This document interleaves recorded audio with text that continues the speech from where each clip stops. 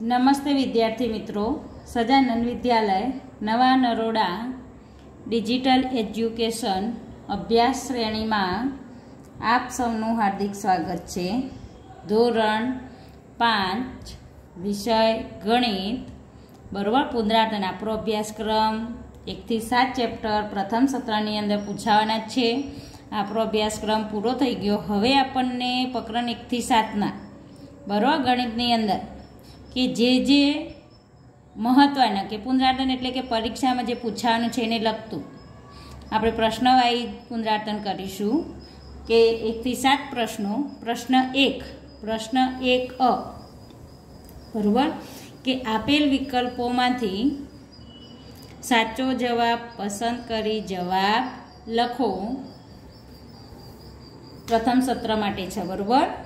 હવે આપણને કે પ્રશ્ન એક અનો એક. એક લાખ સંખ્યાને અંકમાં ખાલી જગ્યા લખાય. અંકમાં ખાલી જગ્યા લખાય. અ દસ હજાર, બી દસ લાખ, સી બરાબર? આ એકનો ઉપર પાંચ મિનિટ એટલે એક લાખ, ડી એટલે એક હજાર. તો આમાંથી એ, બી, સી, ડી. એમાંથી કયો જવાબ સાચો આવશે? સી. સાચો જવાબ સી છે, બરોબર? તો આપણે સી ઉપર ટીક કરીશું. અથવા કે નીચે તીર મારીને લખી દઈશું કે એક લાખ અથવા ખાલી જગ્યાની અંદર લખીશું, બરોબર? કે એક લાખ. એના પછીનો બે નંબર. પચાસ હજાર સંખ્યાને શબ્દોમાં ખાલી જગ્યા લખાય. એ પાંચસો, બી પચાસ હજાર, સી પાંચ હજાર અને ડી પાંચ લાખ. તો એમાંથી કયો વિકલ્પ આવશે? બી વિકલ્પ આવશે. તો અહીંયા તીર મારીને લખીશું પચાસ હજાર. ખાલી જગ્યામાં લખીશું પચાસ હજાર. બરોબર? પચાસ હજાર. અને અહીંયા તીર મારીને પણ જવાબ લખી શકાય. બરોબર? આજ પ્રમાણે કે એક લાખ. અહીંયા તીર મારીને લખીશું કે પચાસ હજાર. બી વિકલ્પ પચાસ હજાર. અહીંયા સી કરીને લખવાનું, બરાબર? જે જવાબ આવતો હોય તે. ચાલો, એના પછીનો. દસ હજાર ક્રિગ્રા બરાબર ખાલી જગ્યા ટન. એ સો, બી દસ, સી એક હજાર અને ડી એક. તો એક ટન થાય. કેટલો થશે? એક ટન. ટીક કરીશું, ખાલી જગ્યામાં જવાબ લખીશું અને અહીંયા જવાબ લખીશું. ડી એક. ચાલો, એના પછીનો. પાંચ લાખમાં પાંચ લાખમાં ખાલી જગ્યા શૂન્ય હોય છે. એક લાખમાં પાંચ હોય ને પાંચ લાખમાં પણ પાંચ જ શૂન્ય હોય. તો એ ત્રણ, બી ચાર, સી છ અને ડી પાંચ. તો કયો વિકલ્પ આવશે? ડી. પાંચ શૂન્ય હોય. કેટલી હશે? પાંચ. તીર મારીને જવાબ લખીશું. ડી. પાંચ. એના પછીનો કે કાટકોણનું માપ કેટલું હોય છે? એ એકસો એંસી, બી નેવું, સી સાઠ ડી જીરો અંશ. તો કાટકોણનું માપ કેટલું હશે? નેવું અંશ. બરાબર? આનો જવાબ લખીશું આપણને અહીંયા. જગ્યા અહીંયા નથી. તો અહીંયા લખીશું તીર મારીને કે બી નેવું અંશ. ચાલો એના પછીનો. કાટકોણથી મોટા માપના કોણને ખાલી જગ્યા કહે છે. કાટકોણથી મોટા માપના કોણને શું કહે છે? તો એ કાટકોણ બી લઘુકોણ સી સરળ કોણ? ડી ગુરુકોણ શું કહેવાશે? ગુરુકોણ તો અહીંયા ખાલી જગ્યામાં લખીશું, ગુરુ કોણ? અને આપણને એનો જવાબ લખીશું અહીંયા તીર મારીને કે ડી વિકલ્પ. ગુરુ કોણ? બરોબર? આપણને વિકલ્પની અંદર ટીકે કરી દીધું. ખાલી જગ્યામાં જવાબે લખ્યો અને નીચે તીર મારીને સાચો જવાબ તમારે લખવાનો છે. હું પેન્સિલથી લખું, પણ તમારે શેનાથી લખવાના છે? બોલ પેનથી જ બધું કામ કરવાનું છે, હો. ચાલો, એના પછીનો સાત નંબર. લંબચોરસની પરિમિતિનું સૂત્ર શું છે? પરિમિતિનું સૂત્ર એ બે કૌંસમાં લંબાઈ પ્લસ પહોળાઈ, બી ચાર ગુણ્યા લંબાઈ, સી લંબાઈ ગુણ્યા લંબાઈ, ડી લંબાઈ ગુણ્યા પહોળાઈ. તો આનો જવાબ શું આવશે? એ. તો આપણને અહીંયા લખીશું એ બે કૌંસમાં લંબાઈ પ્લસ પહોળાઈ. એના પછીનો ચોરસની પરિમિતિનું સૂત્ર શું છે? તો એના એ જ ઉપરના જે વિકલ્પો, એ કૌંસમાં બે કૌંસમાં લંબાઈ પ્લસ પહોળાઈ, બી, ચાર ગુણ્યા લંબાઈ, સી, લંબાઈ ગુણ્યા લંબાઈ અને ડી, લંબાઈ ગુણ્યા પહોળાઈ. તો કયો વિકલ્પ આવશે? બી. લખીશું તીર મારીને કે બી ચાર ગુણ્યા લંબાઈ. એના પછીનો નવ સેમી અને છ સેમી. બાજુવાળા લંબચોરસનું ક્ષેત્રફળ ખાલી જગ્યા છે. ક્ષેત્રફળ એટલે કે લંબાઈ ગુણ્યા પહોળાઈ. એટલે શું થશે આ બંનેનો ગુણાકાર? ચાર ગુણ્યા છ, તો ચાર સંગ ચોવીસ. તો હવે એની જ વિકલ્પમાં એ બરાબર દસ ચો સેમી બી બરાબર વીસ ચો સેમી સી બરાબર ચોવીસ ચોસેમી, ડી બરાબર બાર ચો સેમી તો કયો જવાબ આવશે? સી વિકલ્પ. તો તીર મારીને લખીશું. સી ચોવીસ ચો સેમી એના પછીનો દસ નંબર. નવનો છઠ્ઠો ગુણક ખાલી જગ્યા છે. નવનો છઠ્ઠો ગુણક.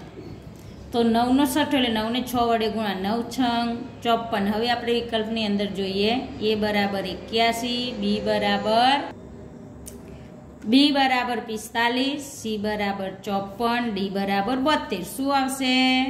બરાબર, ચોપન.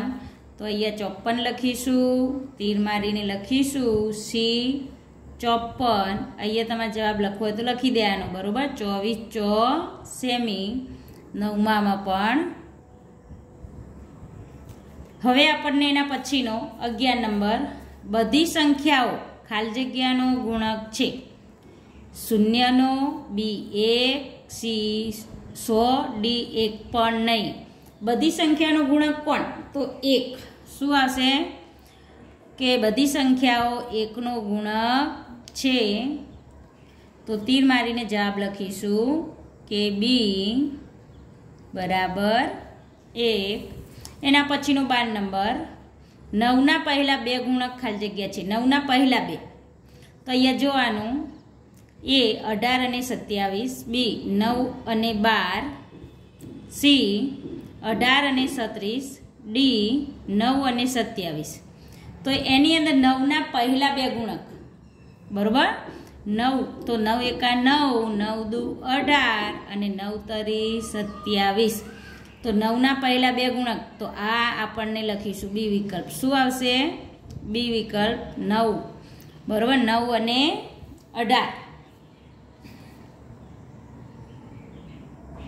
આપણે નવના પહેલા બે ગુણક કયા કયા જોયા? નવ, એકા નવ અને નવ દુ અઢાર. નવ અને અઢાર. ચલો એના પછીનો તેર નંબરનો વિકલ્પ. આ પેટર્નમાં બે, પાંચ, દસ, સત્યાવીસ, સત્તર અને છવ્વીસ. પછીની સંખ્યા ખાલી જગ્યા છે. હવે આપણને એ પાંત્રીસ, બી આડત્રીસ, સી સાડત્રીસ ડી અડતાલીસ હવે આની અંદર આપણને આના પછી છવ્વીસ પછી શું આવે? તો આ બંને વચ્ચેનો તફાત જોવાનો. આ બંનેની બાદ બાકી તો ત્રણ આવ્યા પછી આ બંનેની તો પાંચ. આ બંનેની સાત તો ત્રણ, પાંચ, સાત. હવે નવનો તફાત. છવ્વીસમાંથી સત્તર ગયા. છવ્વીસમાંથી તો નવ.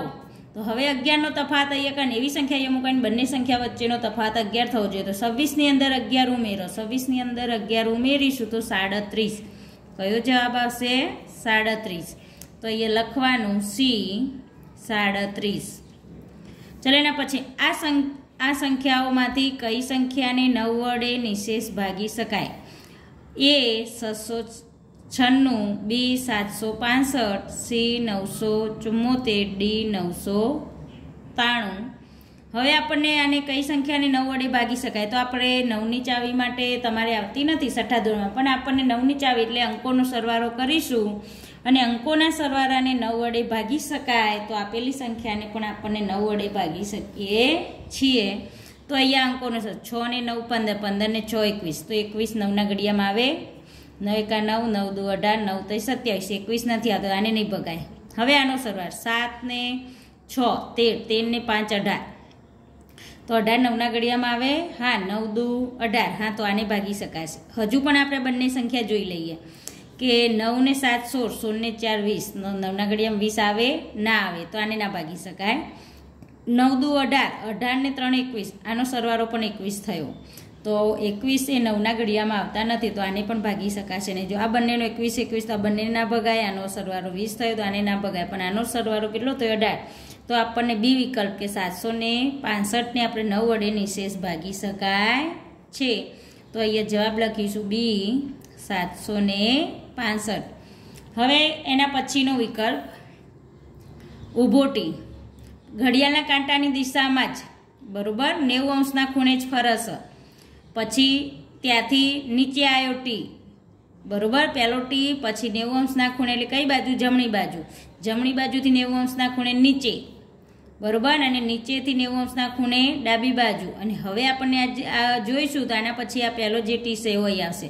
અહીંયા આકાર જોઈ અને આપણને તે કેટલા બરાબર? ની અંદર કેટલો વરાંક લીધેલો છે? આપણને એનો વરાંક શોધવાનો છે. તો એ એક દૃત્યાંશ બી એક તૃતીયાંશ સી એક ષષ્ઠમાંશ બરોબર? અને ડી, એક ચતુર્થાંશ તો આનો વળાંક કેટલો છે? તો એક, બે, ત્રણ ને ચાર. અને હવે પાંચમો કરીશું, તો પહેલો આકાર આવશે, એટલે ચાર થયા. એટલે કે કેટલો આવશે? એક ચતુર્થાંશ ડી. તો લખવાનું, ડી, એક ચતુર્થાંશ વળાંક એનો કેટલો છે? એક ચતુર્થાંશ હવે આપણે પ્રશ્ન એકની અંદર પરીક્ષાની અંદર પ્રશ્ન એક વિકલ્પોના પાંચ વિકલ્પો પૂછાવાના છે. તમને મેં પંદર વિકલ્પો લખાયા. પંદર વિકલ્પોમાંથી પાંચ વિકલ્પો પરીક્ષાને, આમાંથી પાંચ વિકલ્પો પરીક્ષામાં આવશે. તમારે આટલા જ તૈયાર કરવાના છે. બરાબર? હવે જે લખાવું એ બધું જ પુનરાવર્તન તમે સારા અક્ષરે લખજો અને મોઢે કરજો દરેક વિદ્યાર્થી બરાબર? પરીક્ષા લક્ષી જ પુનરાવર્તન છે. શું સા? પરીક્ષા લક્ષી પુનરાવર્તન ચલો વિદ્યાર્થી મિત્રો આજનું ગૃહ કાર્ય પીડીએફ ફાઇલનું લખાણ ગણિતની નોટમાં લખવું. જય સ્વામિનારાયણ.